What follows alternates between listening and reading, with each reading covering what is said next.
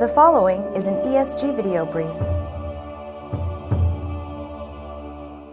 Hi, I'm Jason Buffington. I'm a principal analyst at ESG, and for most of my 27 year career, I watched various IT technologies and teams create a mind blowing number of copies of data throughout IT organizations of all sizes.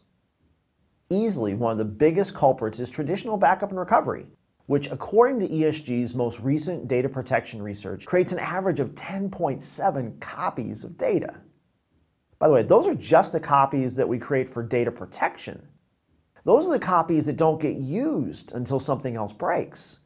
How about some copies that actually enable the business, like test dev?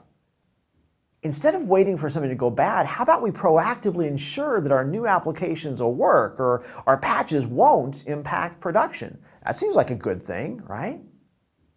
But at least when the backup folks make their copies, the storage impact is often hidden, so we don't realize how much sprawl there really is.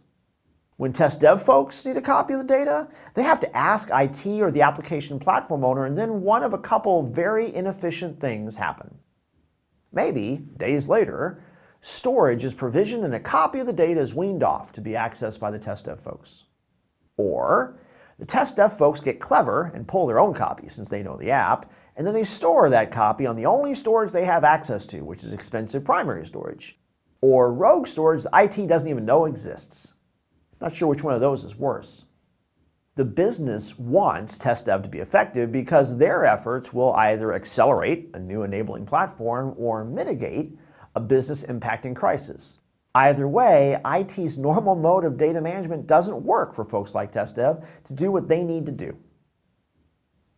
The problem we're talking about here is termed by many in the industry as copy data management, or sometimes just copy sprawl. Copy data management is as simple as my personal lifestyle exceeds my household budget. When my lifestyle exceeds my budget, I have two options. I can reduce my lifestyle by not eating out as much, not driving as nice or new a car. And in IT terms, that'd be like not ensuring data protection or preservation or test dev enablement or basically doing less. But I can't do less because the business is expecting more from IT than ever before.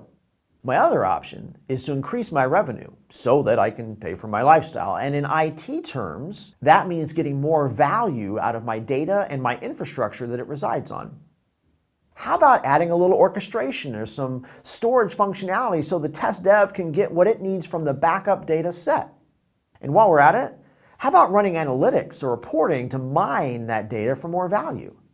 Those are just a few of the extra things that you can do with a well-managed data, and that starts with a modern approach for copy data management and an infrastructure that enables new data access scenarios. Some vendors are addressing this through whole new solutions, while other vendors are augmenting their data protection solutions with a data management framework.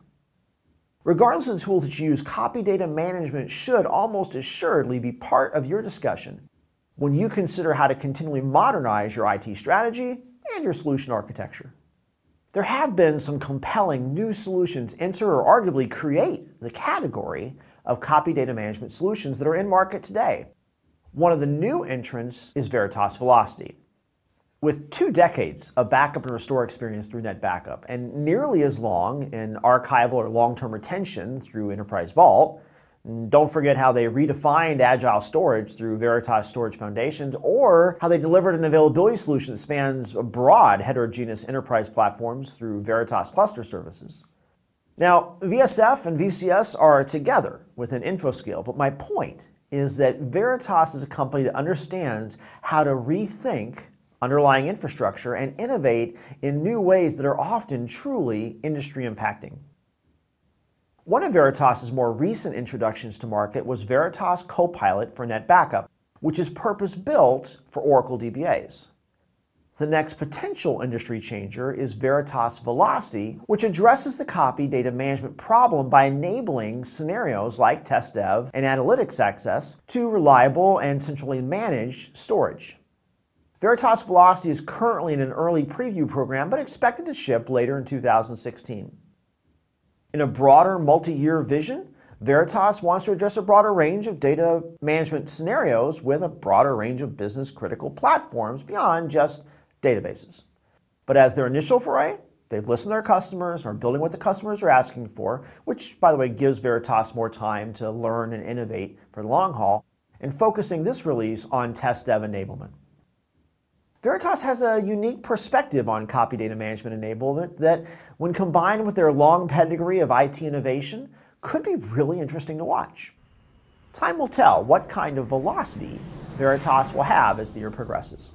I'm Jason Buffington for ESG. Thanks for watching.